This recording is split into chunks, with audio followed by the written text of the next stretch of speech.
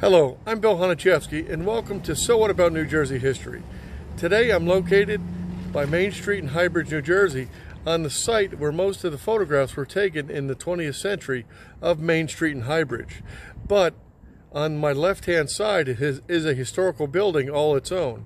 Today it's called Mrs. Reilly's Public House, but in 1879 it was known as Reardon's by it was actually owned by a gentleman by the name of Michael Reardon, which passed on to his son and sold to Rudy Nowak when it became Nowak's in 1953. Now, Rudy Nowak sold it to George Farr in the 1970s, and this establishment became known as the Stable.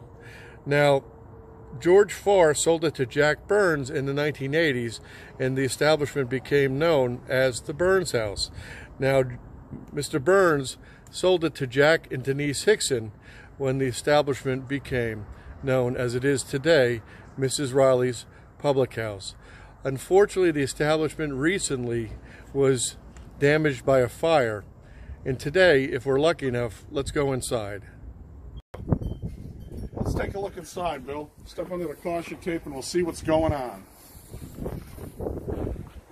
Well, here we are inside the oldest continuing operating retail business in High Bridge, 150 years.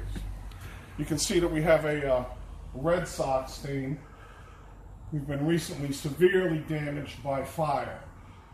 We have our original tin ceiling, our Red Sox stuff. Let's go on down and take a look at the damage that we've endured. We've had a difficult time as of late on top of the coronavirus. Now we can't even open our doors after that passes. You can see in our kitchen here, watch your step, how severe the fire damaged everything. Totaled all the equipment. What you're looking at here is similar to what it looks like upstairs.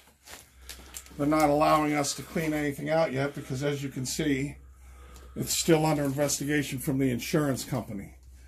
The prosecutors have finished, but